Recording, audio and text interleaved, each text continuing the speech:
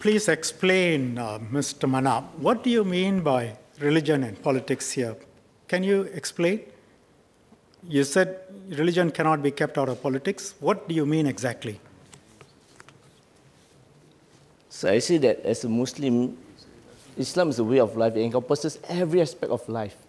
That's what I meant that I, we, me as a Muslim, I can't separate the two entity of politics and religion. I, I hope I make it clear.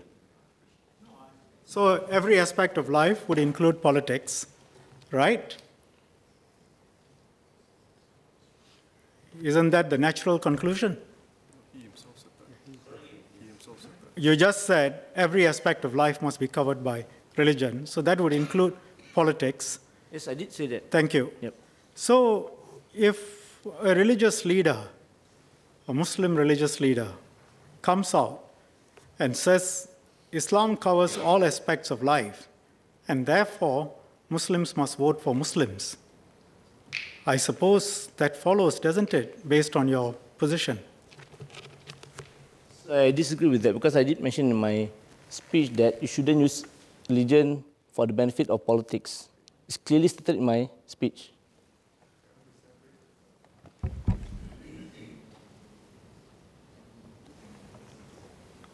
And uh, if someone were to say religion cannot be separated from politics and it covers all aspects of life, and therefore it should impact on policy formulation as well, government's policy formulation.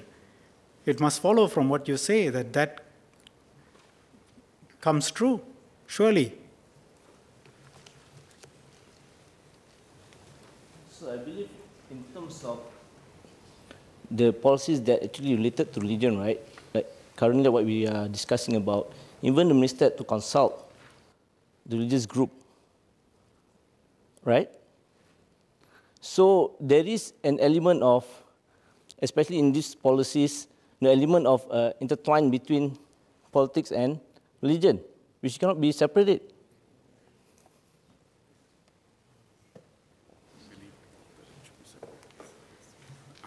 Mr. Manap, you know, in this clarification and discussion, I don't think we are going anywhere because we are going around in circles.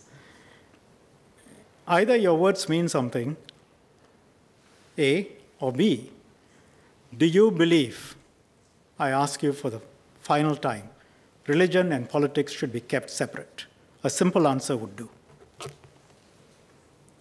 Yes, Mr. Abdul Manap. So when uh, Minister seeks clarification based on my speech, not focusing on one particular, particular issue that is asking right now.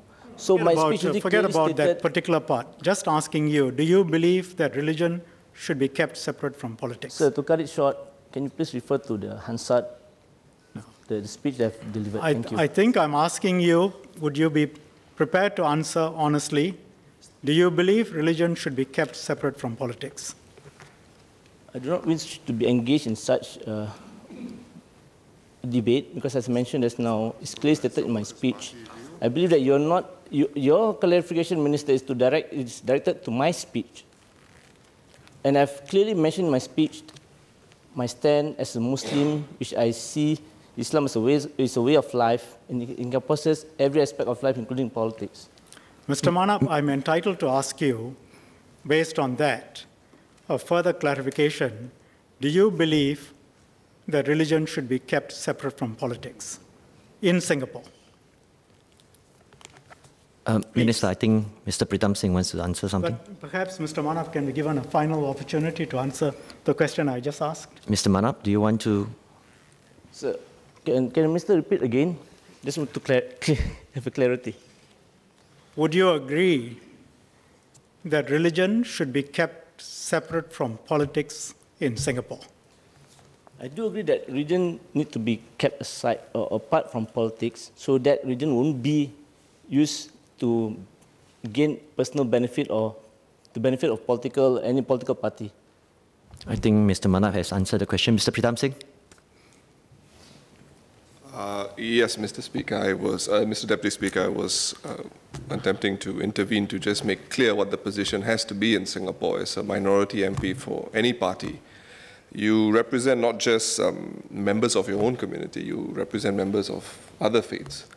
And I think the only way to move forward is to accept that there has to be a certain degree of understanding towards other faiths and, and, and move forward in a, a, a way which accepts that we must be mindful of introducing religion into politics. I think where Mr. Manap is coming from is, is his faith.